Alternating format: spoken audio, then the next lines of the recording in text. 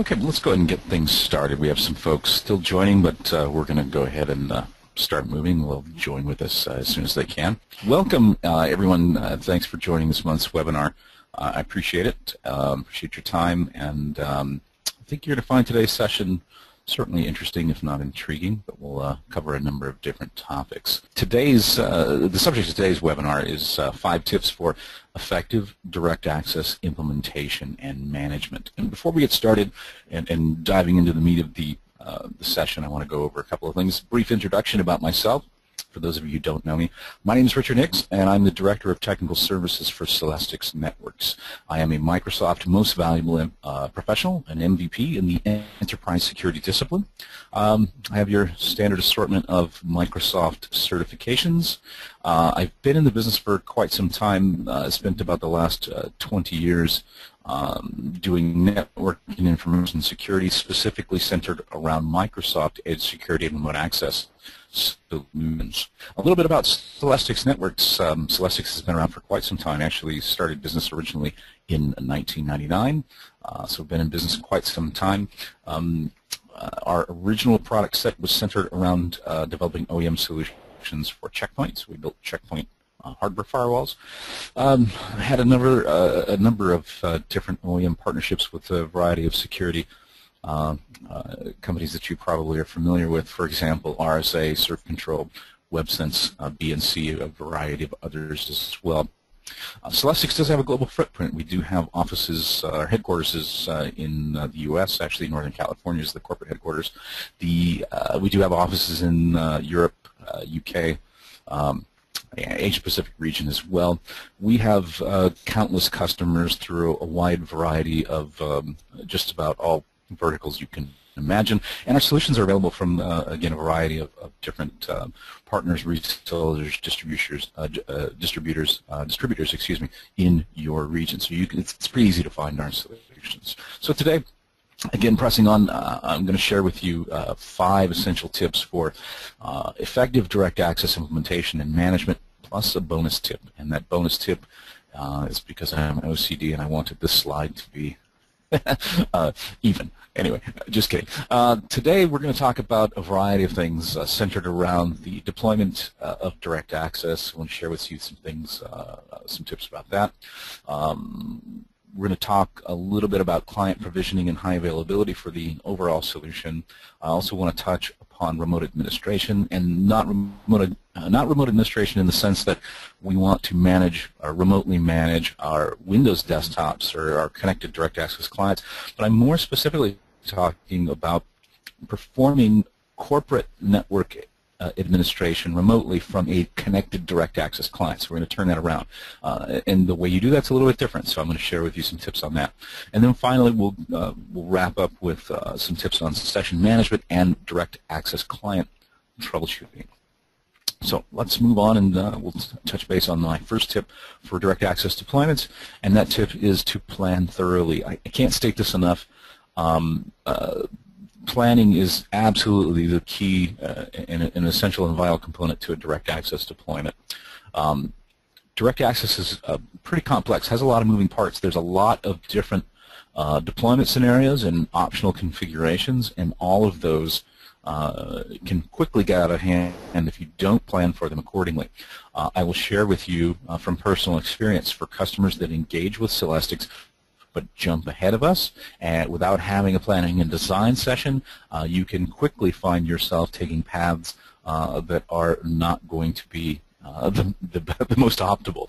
Uh, you, uh, for those customers that have engaged with Celestix after a failed direct access deployment or one that perhaps um, uh, was not highly successful, certainly the lack of planning uh, is, is, typically is typically to blame there. So plan thoroughly. That's that's probably our biggest tip. There are a variety of design considerations that you have to make when you're talking about doing a planning and design solution scenario.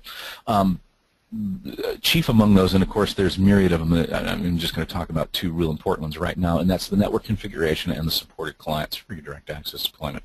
Um, again, myriad different things that you can uh, consider when you're when you're talking about uh, designing a direct access architecture. But two of the main ones, the network configuration and supported clients, two of those will have a tremendous impact uh, and bearing on your overall design. There's uh, tons more than that, but I think that's a, a couple of uh, key ones.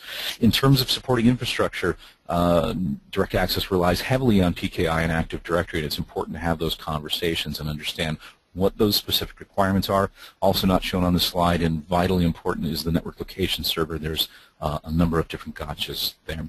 And from an implementation perspective, we need to plan uh, for security groups and group policy objects because we're going to rely heavily on both of those things to um, do some of the things that we need to do for direct access.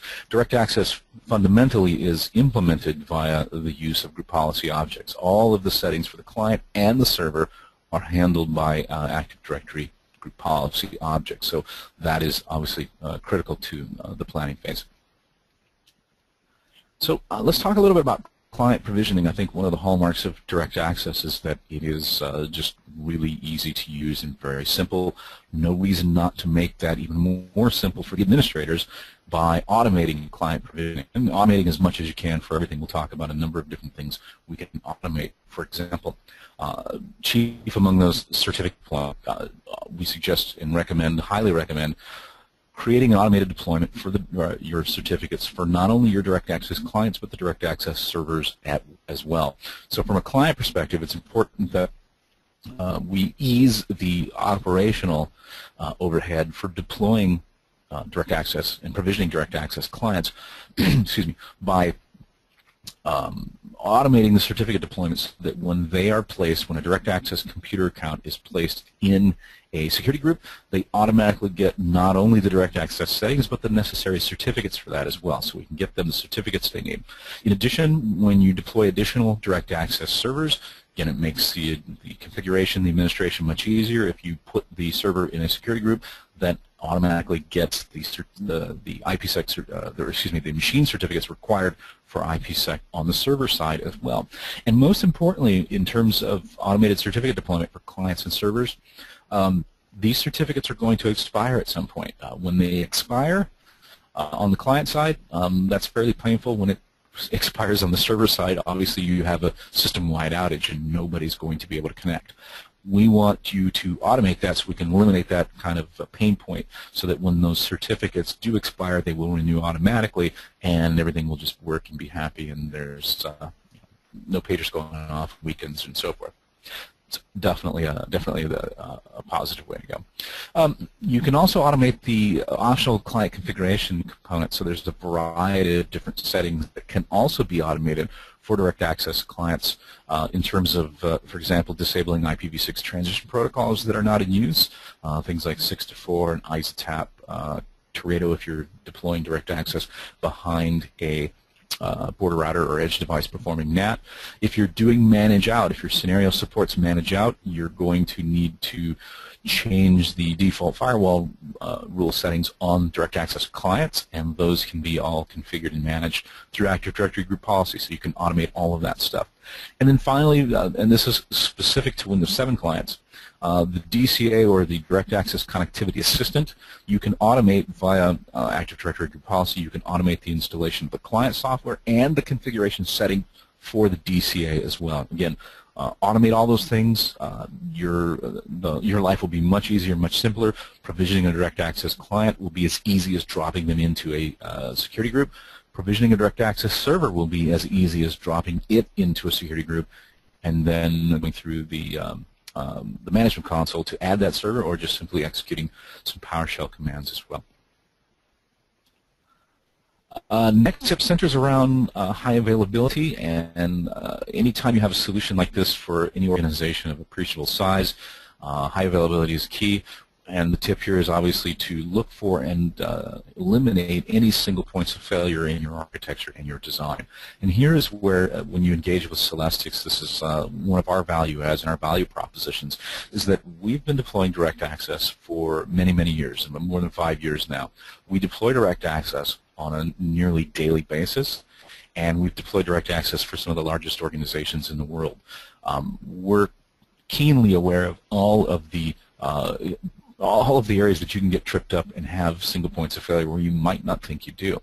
So again, if you engage with Celestix, we can assist you there either uh, on, on, a pre-sales engagement, doing a design, uh, planning a design session, or from a professional services standpoint, you can engage with us uh, to help you and assist you there. Some uh, possible failure points and real common failure points obviously are the direct access server. If you have one and it goes offline, either planned or unplanned, uh, it's going to be challenging, right? So um, again, if you have an organization of any uh, real size, uh, this can be potentially challenging, especially if you take it down to even for a planned outage, for example, and you you install an update and maybe it goes sideways or it doesn't want to start or who knows what. Um, could be something totally unrelated to the direct access server. Maybe a PDU perhaps a switch outage, uh, switch configuration again went sideways and there's a problem, so we might have some challenges there. We can address that by implementing load balancing for the direct access server and create clusters or arrays of direct access servers that are function as an active-active cluster. You can have up to uh, eight nodes using integrated load balancing. You can have as many, I think, as 32, if I'm not mistaken, if you're using an external uh, load balancer. Uh, integrated network load balancing is part of the base product, and, and it's obviously free. Uh, it does work. It is effective, um, somewhat limited. We do recommend for larger deployments that you use an external load balancer for a variety of reasons, uh, and there are some excellent solutions out there. F5 is, is probably the de facto standard when you're talking about uh, load balancing, hardware load balancing solutions. Uh, the F5 Local Traffic Manager is an excellent enterprise solution. Um, don't forget about uh, the folks at Kemp. Uh, Kemp Technologies have a product called the LoadMaster Load Balancer, which is uh, quite not as uh, not, not quite as feature-rich as the F5, but it is an outstanding solution. It does provide very effective load balancing in a variety of platforms, hardware, software, virtual, what have you, uh, and very cost-effective. In addition, uh, I personally wrote the direct access implementation guide for the Kemp Loadmaster in a direct access deployment scenario. So if you're interested in, in that, just drop me a note uh, after the session. Be happy to send you that link. Um, another uh, failure point, obviously, that can be addressed is uh, geographic redundancy. So for large organizations that have uh, multiple uh, data centers or physical locations, you can distribute direct access servers to each of those uh, data centers in, to support geographic redundancy. That's called a multi-site deployment.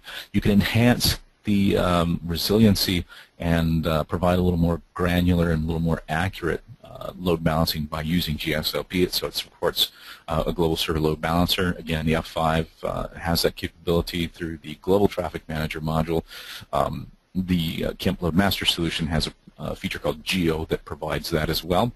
Um, so be sure to look into those. Uh, those can definitely make a uh, multi-site deployment uh, much more resilient. And then finally, the network location server. The, the, the network location server in the NLS is a rather innocuous uh, infrastructure component that gets often overlooked until it's not available, and then it causes a significant and substantial amount of pain. So uh, we recommend that you make the NLS highly available in some fashion. Um, we have customers who, and, and, again, for those of you who may not be familiar with the NLS, that's nothing more than a web server that uh, resides on your internal corporate network.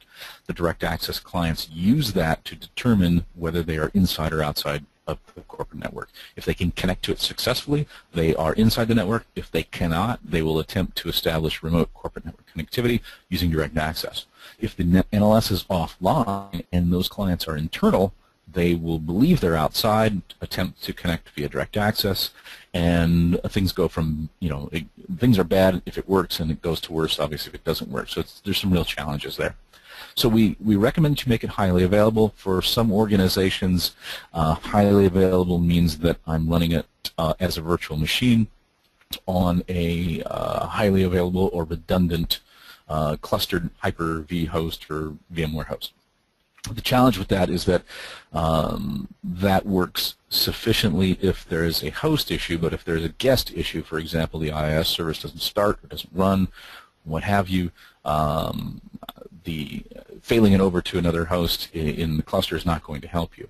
We recommend that you deploy a minimum of two direct access servers. It can be IIS. It can be any web server that responds uh, to uh, HTTP requests. It can actually even be your load balancer. So uh, both the F5 and um, the LoadMaster do support uh, uh, configuration as the network location server itself. So as long as those solutions are deployed in highly available clusters, you can actually leverage it for your network location server.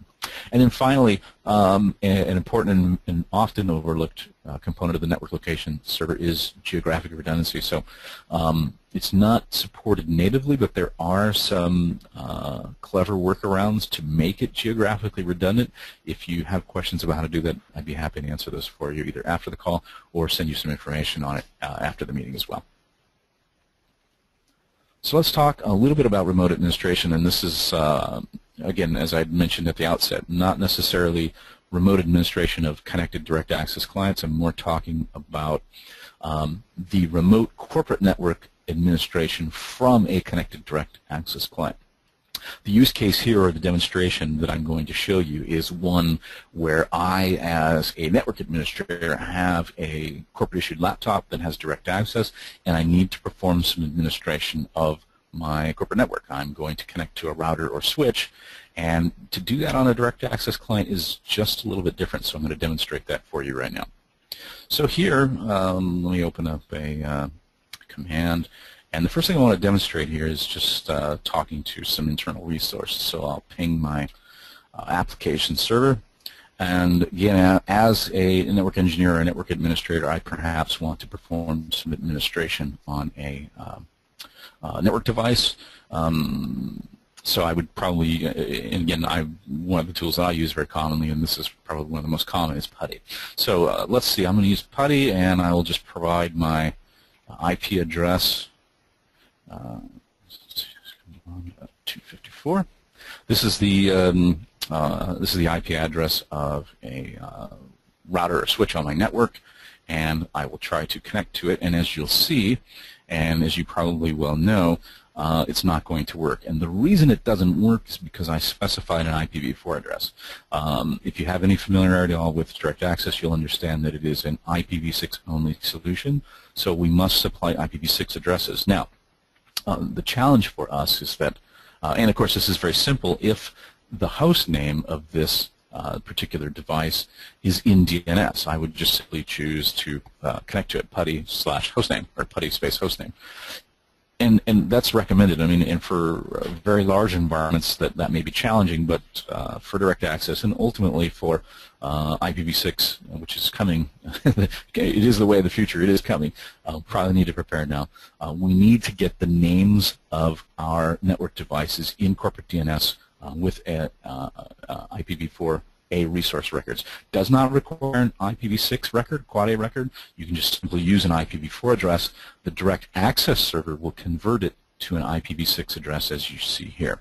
Now, if, for example, this was, again, in, uh, in DNS, I would just uh, uh, connect to the host name, all would be good. But in this case, I want to demonstrate how to connect to it if you don't have the host name in DNS. There's no DNS record for this. By the way, you cannot use the local hosts file. If you think you can do this via hosts, uh, it will not work um, unless you put this IPv6 address in here, but we need to determine what that is, and I'm going to demonstrate how to do that. So this particular uh, resource, App1, is on our corporate network, and you'll see it has an IPv6 address here. So let's take a look at this. Uh, this IPv6 address is made up of a prefix, and that prefix is highlighted here. This is the corporate IPv6 prefix, followed by uh, this section here that's highlighted, which is our IPv4 address of the resource, the IPv4 address that belongs to App1 in hexadecimal format. So AC10 is actually 172.16.1 whatever CA is. So let's take a look at this quick. I'll show you how to do this. Uh, we'll open up the calculator, Windows Calculator, uh, click View and go to Programmer.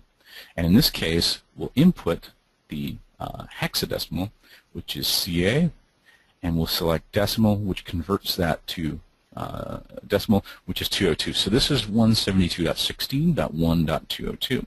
If I want to connect to .254, I just simply need to enter that address here, Oops. And then convert it to hex. So it is FE. Great. So it's 1 FE. By the way, This is technically 01FE, so 01 being hex for 1. Uh, however, uh, in IPv6 you can eliminate leading zeros, so it basically is 1FE. So let's see if we can connect to this. We'll just start by pinging it. And that's uh, FE, not F3. My bad.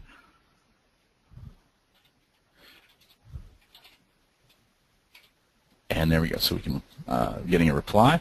So now let's see if we are able to administer this device. Excellent.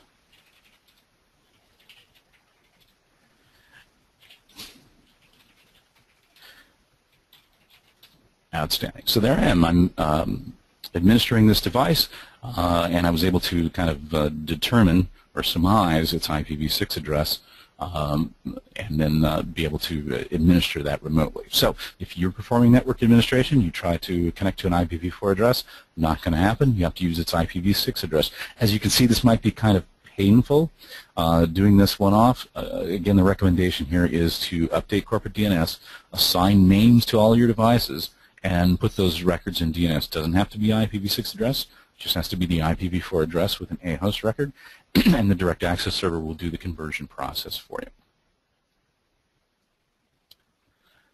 So the next tip, uh, let's talk a little bit about session management in direct access. And for this, we're actually going to use some new features and capabilities that are part of the Celestix E-Series uh, Cloud Edge Security Appliance. So let's jump back over to my uh, workstation here. We can close these out. And in this case, uh, we'll open the management console. So this is the Comet uh, web-based management console that's a part of the Celestix E series. Here what I'm going to do is I'm actually going to go to the remote access dashboard. And uh, I'm, in this case, I, I, have a scenario in which I have a malware-infected client that I need to uh, disconnect their session. They're connected. Uh, my IDS IPS is identifying some malicious traffic from them. I need to prevent them from accessing the corporate network and ultimately remediate this uh, laptop. So I'm going to select uh, the active or current users. I'm going to identify client here. Let's see. Um, client 3 is, I think, the one I want to look at. So I'm going to highlight that connection. And you'll see I have some details for the connection here, and I have three options. I can reset the connection, I can disable it, or I can remove it. Resetting the connection does just that. It basically terminates the direct access um, IPsec security associations, the direct access tunnels, if you will, uh, disconnects them. The client just simply reconnects. This is helpful for uh, scenarios in which I'm doing some troubleshooting uh, and so forth. That might be helpful.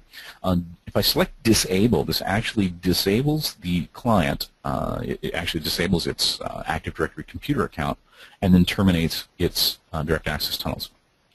The direct access client will then try to reestablish that connection, but it will not be able to because its uh, computer account will be disabled, so it won't be able to fully authenticate. That prevents it from uh, accessing the, the network. And then remove is kind of the nuclear option. This is something you would use if you have a fully compromised laptop uh, or lost or stolen device and you don't expect it back. You can just simply remove that. That uh, removes or deletes the Active Directory account permanently and then uh, dis, uh, uh, disconnects those tunnels, so they won't be able to connect. So again, don't use that one for your day-to-day -day administration unless you plan to either rejoin the computer to the domain or wipe and reload. But that, that's kind of what that's for. So let's take a look at a client. for example, here, this is a actually, let me go to the command prompt. Um, let's make sure that this is uh, host name. Should be client 3. Great and I have a public IPv4 address. I can talk to some resources there. and I can get to my corporate application server. Great. Okay. For example, and in, in, in, this scenario, let's say client 3 has some malicious software and I want to uh, disable it temporarily. So I'll go here to disable. Disable host, click apply. I should get a message here telling me, correct, so client 3 has been disabled. Outstanding. So now if I come back to this client and attempt to talk to these uh, same resources, you'll see that um, that's no longer working. And that should time out here shortly. And actually, if we try to access that same internal intranet site, there you have it. Page can't be displayed. So I've effectively disconnected uh, this particular host. Uh, I can uh, perform some sort of malware remediation, and once it's uh, once it's um, uh, once it's been remediated, I can uh, very easily just re-enable its Active Directory computer account, and it will um, just automatically and transparently establish direct access corporate network connectivity. Final and bonus tip for today, and I apologize we're running up against our uh, time, so I'll, I'll, try to make this quick, is uh, performing direct access client troubleshooting. again, I want to demonstrate this. Uh, once again, this uses a feature, a new feature of the uh, Comet uh, web-based management interface, which is a part of the uh, Celestix E-Series appliance. To do that, what I would do is I would, as a direct access client who's connected remotely, which I believe this one is, I am, yes, correct. So I'm connected remotely.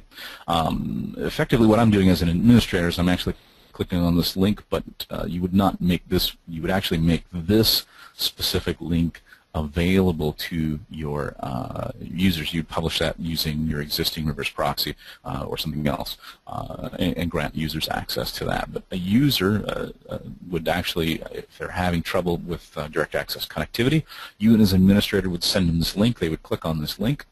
And what that link does is, actually this is the, this is the URL you would publish. When the user clicks on the, on the test runner, what they will do is run this file and uh, the test runner actually downloads the direct access client troubleshooting tool from Microsoft, executes all the tests, and, and then uh, outputs that uh, uh the diagnostic logs uh, to a format uh, that's readable. Obviously, it's just a text log file, and it securely uploads that to the appliance. This streamlines the um, uh, troubleshooting of direct access clients makes it infinitely easier for you as an administrator to conduct this because you can just give the user a link, they click on the link and run this, and then the uh, access logs or these uh, troubleshooting logs, these debug logs will actually uh, show up on the direct access, uh, in the direct access management console. And from there, you can uh, uh, go through those and sort through them. Um, as soon as the test runs, we'll take a look at that. So finish the test. So uh, you as the administrator would then come back to the management console and you would see that there is uh, a log. If you just select this, uh, this information is here available for you to look at, and of course you can um, you know peruse these logs looking for uh, issues as to why it might be struggling to connect. You can actually download this so you can save this as a text file so you can take it off box or import it into another tool if you like. But this greatly streamlines your direct access client troubleshooting and can really save you a lot of time uh, and a lot of uh, effort and uh, agony sometimes. anyway, that brings us to the end of the session. Do I do appreciate everybody's time. Um, we have a few minutes, or not a lot of time for questions, but if anyone has any questions at all, I'll be happy to answer those for you. Um, there is a question uh, section in the uh, uh, GoToMeeting software there. So if you'll select uh, that and then uh, send that question to me, I'd be happy to answer that for you.